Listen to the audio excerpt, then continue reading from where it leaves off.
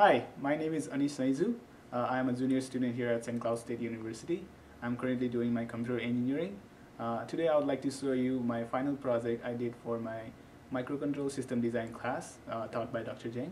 First I would like to show you my hardware design over here in this breadboard. Uh, I have a microchip which is PIC18F4455. Uh, I have a 20 megahertz oscillator clock, a keypad, LCD display screen, and here a small potentiometer to control the contrast on the LCD, a push button, a temperature sensor, a capacitor to measure the capacitance uh, it later. Uh, this whole board is driven by 5 volt that we get from USB. This USB is connected to a computer. Uh, this USB also um, supplies as a data transmission uh, between computer and the PIC chip. This PIC chip uh, we load it by a bootloader which creates a virtual RS-232 COM port uh, in a computer so that we can download our software or even programs without any need of special hardware or software. Uh, now I would like to show you my GUI design over here. Um, I designed the GUI in Microsoft Visual Studio 2010. Uh, I use C Sharp programming language. Uh, let me run the program. Uh, the code for the PIC was written in C and I use CCS compiler for that. So before I go any further, I need to uh, connect my PIC and my GUI. Uh, as I mentioned before, the bootloader has set up a virtual COM port. Um, I need to connect to that COM here. This COM4 and need to set the bits per second and I'll leave the rest as a default. So now the PIC and my GUI are now connected. Um, my GUI has four main channels here. So channel 1 is for uh, room temperature measurement, channel 2 is for digital oscilloscope, channel 3 is for pulse width measurement, and channel 4 is for measuring the capacitance. So let me start uh, with the channel 1. So as you can see on the bottom graph here, this is a plot of the real-time temperature that's the data has been sent by uh, temperature sensor on the breadboard. Let me display the data here. Uh, this is now 24 degrees Celsius, which is pretty close to current room temperature. Um, as you can see also in LCD, the temperature being displayed. It's the same data being displayed at both places. Uh, let me hold the temperature sensor, and as you can see on the graph here, the plot rises up. Um, yeah, uh, I also have a um, LCD clear LCD button right here on my GUI, which will clear the LCD, and I also have a clear GUI button here, which also clears the GUI. Um, yeah, this is all about the channel one. Let's go to the channel two. Channel 2 is for the digital oscilloscope, which is the main part of this project. It took like almost 70 to 80% of the whole time.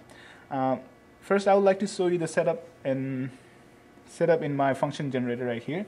Uh, I'm using a 5 volt peak-to-peak um, sinusoidal signal offset to 3.2.5 uh, volt and frequency for now let's say 1 kilohertz which has been supplied to here to my PIC so if I select the channel 2, as you can see the graph being plotted on this first plot over here, uh, which is the voltage plot.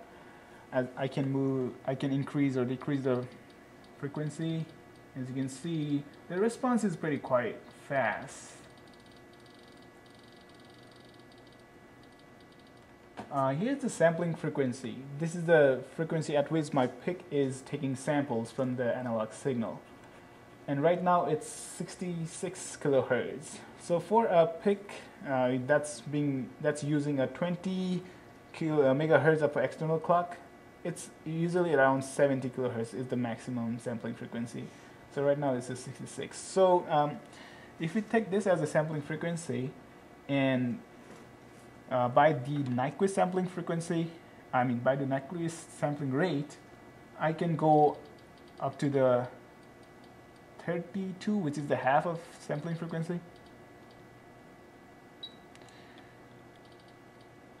Uh, here I have a DFT plot as well. It's a discrete Fourier transform. You can see these two peaks right now are at uh, around 13 kilohertz. You can also see the frequency right here, time period, peak to peak voltage. Let me increase it. So it, right now I'm in 33 kilohertz. So right after that, it comes back. So so the maximum uh, frequency I can go is to up to 33, which is the half of the sampling frequency. So let me go back to 1 kilohertz.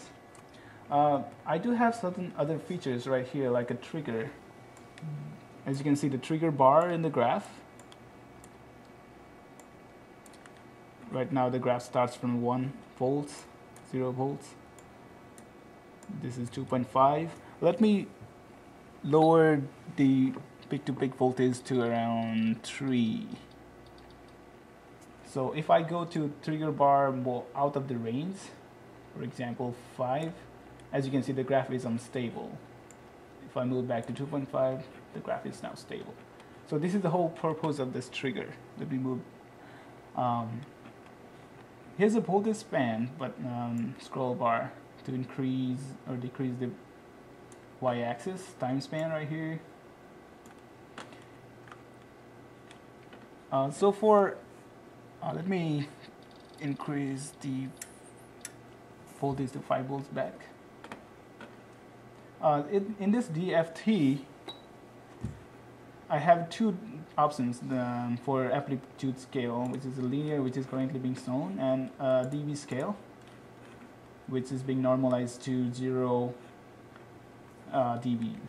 So this is all about channel 2. Uh, now let's move on to channel 3 which is a pulse width measurement. Uh, for that let me change my signal to pulse. I have set it up the duty, duty cycle to 75% right here.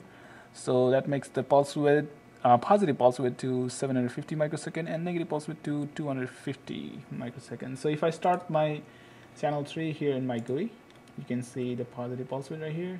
I can select negative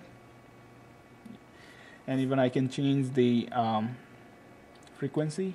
You can see the changes. So that's about the uh, channel 3 let's move on to channel 4 so the channel 4 is a capacitance measurement. Uh, right now I have a 1 microfarad capacitor right here. Uh, let me use the keypad for this. Star to select the channel 7 to channel 4 so as you can see uh, it's pretty close to 1 microfarad. This is within the 5% for sure. Uh, let me switch to another capacitance, uh, capacitor which is 0.1 microfarad. That's pretty close to 0.09. A smaller value again. This is a capacitor of 0.01 microfarad. Uh, that's pretty close. Uh, so in this system, um, we can use either keypad or uh, PC keyboard or the GUI buttons as I showed you before. Um, you can uh, use either of those interfaces uh, interchangeably or independently. It really doesn't matter. So yeah, this is pretty much all about my project right here. Um, this class was pretty interesting. I learned a lot, even though I spent a lot of time, even days and nights in this class. But it was important thing was I learned a lot. So I would like to thank Dr. Zheng for this class and I would like to recommend other EC students to take this class. So yeah, thanks for watching this video and have a good day. Bye-bye.